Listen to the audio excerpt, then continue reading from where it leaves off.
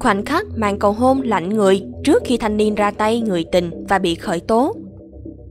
Chiều qua 18 tháng 10, Phòng Cảnh sát Hình sự Công an thành phố Đà Nẵng tống đạt quyết định khởi tố bị can, thực hiện lệnh bắt bị can để tạm giam đối với PVM, 27 tuổi. M là đối tượng đã ra tay với chị IH, 23 tuổi, tại một nhà nghỉ trên địa bàn thành phố gây xôn xao dư luận trong những ngày qua. Sau gần 4 giờ tiếp nhận thông tin và tiến hành các hoạt động điều tra, truy tìm thủ phạm, Phòng Cảnh sát Hình sự Công an thành phố Đà Nẵng đã phối hợp với các đơn vị nghiệp vụ, công an các địa phương liên quan, bắt giữ, đưa BVM đi cấp cứu, điều trị tại Bệnh viện Đa khoa Bắc Quảng Nam, sau đó chuyển về Bệnh viện Đa khoa Đà Nẵng tiếp tục điều trị. Vì trước đó y đã nghỉ quẩn nhưng không thành. Căn cứ vào tình hình sức khỏe của đối tượng, Phòng Cảnh sát Hình sự Công an thành phố Đà Nẵng đã tống đạt các quyết định kể trên để tiếp tục điều tra và xử lý nghiêm theo quy định pháp luật.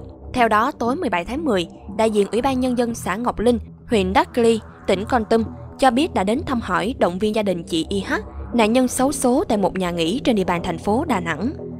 Trước đó, mạng xã hội xuất hiện hình ảnh màn cầu hôn của một cặp đôi ở Đà Nẵng. Sự việc khiến nhiều người bất ngờ khi có thông tin sau màn cầu hôn, chàng trai đã gây ra tội ác với bạn gái. Bạn bè của cô gái cũng lên tiếng xác nhận vụ việc. Theo thông tin ban đầu, khoảng 10 giờ ngày 14 tháng 10, BVM đến thuê một phòng tại nhà nghỉ TB ở phường Hòa Minh, quận Liên Chiểu, Đà Nẵng. Khuya 15 tháng 10, sau khi đi ra ngoài thì M quay lại phòng cùng chị IH, 23 tuổi. Khoảng 11 giờ ngày 16 tháng 10, M rời khỏi nhà nghỉ TB. Đến đầu giờ chiều cùng ngày, chủ nhà nghỉ trên nhận được thông tin là tại phòng mà M thuê có biến. Khi chủ nhà nghỉ lên kiểm tra thấy chị H đã không qua khỏi nên trình báo công an.